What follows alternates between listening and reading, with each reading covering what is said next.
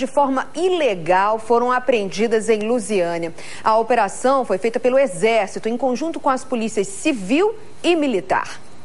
A primeira parada da fiscalização foi nesta loja de esportes que fica no centro da cidade. De acordo com os militares, o dono não tinha autorização para vender nenhum tipo de armamento. A operação contou com 20 homens das polícias civil e militar, com apoio do Exército e do Corpo de Bombeiros.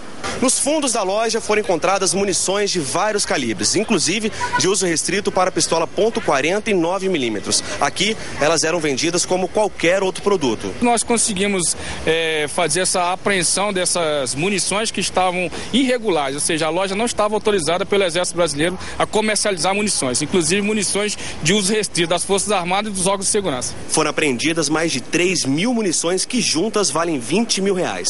O proprietário da loja foi levado à delegacia e os produtos estão à disposição da Justiça. A operação também fiscalizou esta loja de artigos de pesca. O proprietário tinha autorização para a venda, mas o estoque de munições era maior que o permitido pelo Exército.